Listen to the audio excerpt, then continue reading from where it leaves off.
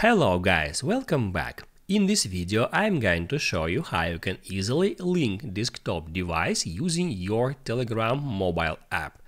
Be sure to watch the video to the very end so you don't make any mistakes.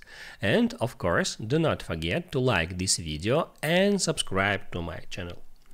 So let's begin and first open up Telegram app.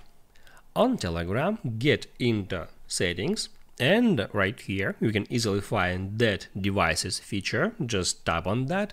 And now you are able to link your desktop device. Just hit at uh, that button and now it says that you have to go to getdesktop.telegram.org or to web.telegram.org to get the QR code so, in that simple way, you can connect Telegram web or Telegram desktop app to your Telegram account. Let me show you how it looks like. I have just opened web.telegram.org and now it shows me a that QR code and also it says that I have to open Telegram on my phone I have actually did that already.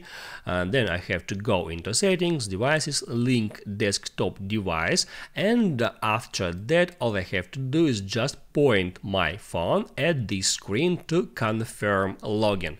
So now I'll take my device and I'll point at the camera uh, to that QR code. After that, that moves me to uh, that step uh, that um, asks me to enter the Telegram passcode. I can enter it and then I can just hit on next to login into my Telegram uh, web version of that site. So actually I now can use Telegram in my web browser. That's how it works. Now you can write down in the comments below if you have any questions about that tutorial and also I recommend you to check out my Telegram tutorials playlist uh, which you can easily find in the description hit the like button if you like that video and I see you in the next one.